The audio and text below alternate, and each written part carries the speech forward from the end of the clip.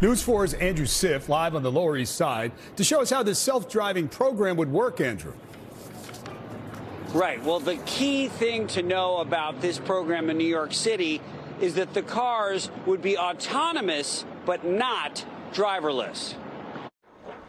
The mere idea of a car without a driver on the streets of Manhattan gets New Yorkers talking. I don't think that's possible. Why not?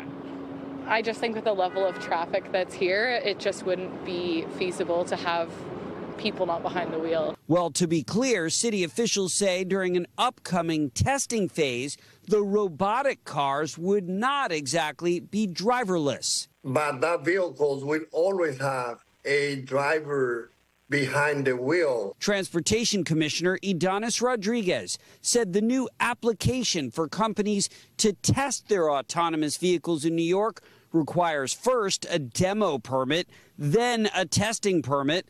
Companies must report all their data, including all incidents where test drivers have to take command. They will have to go through a rigorous approval process. The applications announced the same day Mayor Eric Adams, an avowed fan of high tech, unveiled a gun detection demo in the subways. This is a Sputnik moment. New Yorkers do not need to be lab rats for any type of technology. Alexis Sledge of Transportation Alternatives said the city's efforts would serve more people if they directed their tech priorities elsewhere. We don't have to bring driverless cars to New York City. If we want to bring in autonomous vehicles, let's expand things like the air train. That's an autonomous vehicle, that's also public transportation. Also opposed to automated vehicles taxi and Uber drivers. Within New York City, we have so many pedestrians, scooters, bikes already.